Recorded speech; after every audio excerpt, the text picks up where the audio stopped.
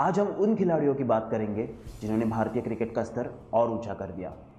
नमस्कार, मैं रोहन मुरकर, फिर से एक बार आपका स्वागत करता हूँ ओए देखो प्रेजेंट्स वार्ड गुगली में। Powered by apple box media entertainment clothing partner डीवीविड and gifting partner Viva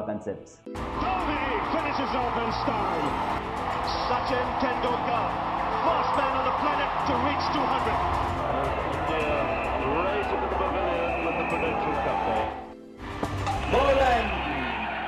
Lead force! 1930 में शायद ही किसी ने विजय हजारे का नाम सुना था विजय हजारे उस वक्त मीडियम पेस गेंदबाज माने जाते थे, पर आगे जाकर भारत के भरोसेमंद बल्लेबाजों में से एक बन गए विजय हजारे महाराष्ट्र के लिए खेला करते थे और मीडियम पेस गेंदबाज होने की वजह से वो नंबर सात या नंबर आठ पे बल्लेबाजी किया करते थे लेकिन बड़ौदा के खिलाफ एक मैच में कैप्टन ने उन्हें नाइट वॉचमैन के रूप में ऊपर बल्लेबाजी करने को कहा और विजय हजारे ने एक शानदार शतक जड़ दिया। उसी दिन उन्होंने दोहरा शतक भी जड़ दिया। दिन के अंत तक विजय हजारे 220 पे नाबाद थे। खेल खत्म होने के बाद कैप्टन देवधर उनके पास पहुँचे और उन्हें कहा, विजय, तुम्हें ट्रिपल सेंचुरी बनाने का शानदार मौका है। अगले ही दिन विजय हजारे ने एक शानदार ट्रिपल सेंचुरी जड़ दी और फ़र्स्ट क्लास क्रिकेट में ट्रिपल सेंचुरी लगाने वाले वो भारत के सबसे पहले खिलाड़ी बन गए।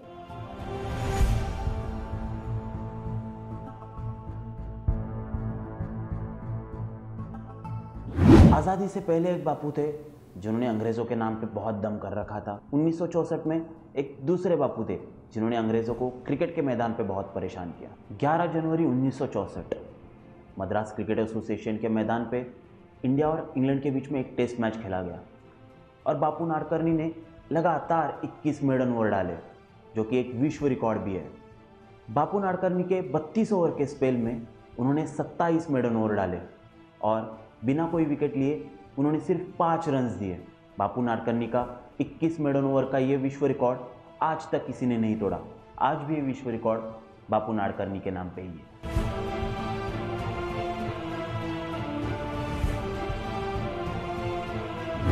उन्नीस और तिरासी पाकिस्तान दौरे में पाकिस्तान धुरंधर गेंदबाजों की वजह से काफ़ी सारे भारतीय खिलाड़ी घायल हो चुके थे।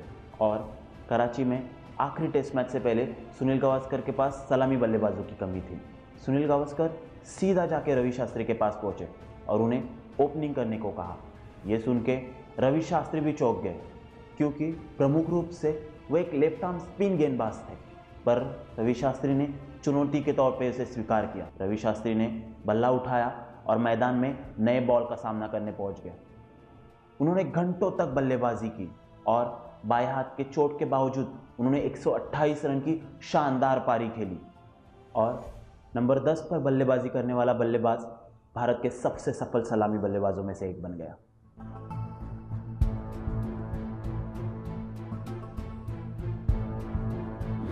ये कहानी है उन्नीस सौ छियानवे की, जब पाकिस्तान और श्रीलंका के बीच में नैरोबी में एक मैच खेला जाना था।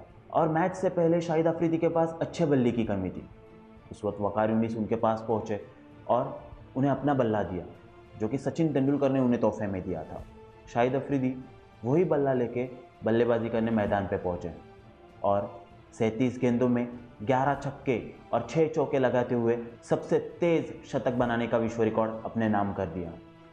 आगे जाके ये विश्व रिकॉर्ड कोरे एंडरसन ने अपने नाम कर दिया, जिन्होंने 35 गेंदों में शतक चढ़ दिया। आज ये विश्व रिकॉर्ड साउथ अफ्रीका के ए बी डी विलियर्स के नाम पे है, जिन्होंने वेस्ट इंडीज़ के खिलाफ खेलते हुए केवल 31 गेंदों में एक शानदार शतक चढ़ दिया।